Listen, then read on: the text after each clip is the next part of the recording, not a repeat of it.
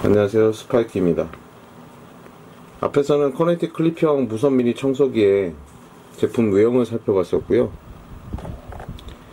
지금은 풍량 테스트를 해볼 텐데 보시면 팬 부분에 제가 지금 안경 닦을 때 사용하는 검색 융을 붙여놨습니다. 휴지로 테스트하면 무게가 가벼워서 풍량을 확인하기가 눈으로 쉽지가 않기 때문에 조금 무거운 걸 장착해 놓은 거고요. 뒷면에 있는 작동 스위치를 눌러주면 팬이 작동을 할 텐데 총 3단계고요. 눌러보겠습니다. 1단계.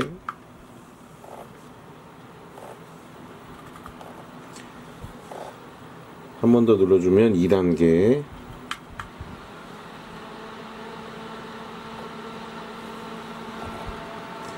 다시 한 번 눌러주면 3단계 총 3단계로 조절이 가능하고 풍량은 작은 사이즈에 비해서 굉장히 강한 편이고 소음도 적은 편입니다.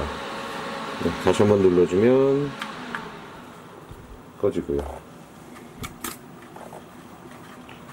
직접 보겠습니다.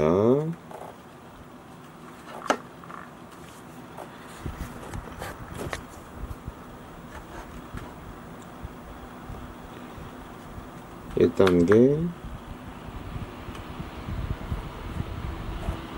2단계 3단계. 네 폭력 테스트를 마치겠습니다. 감사합니다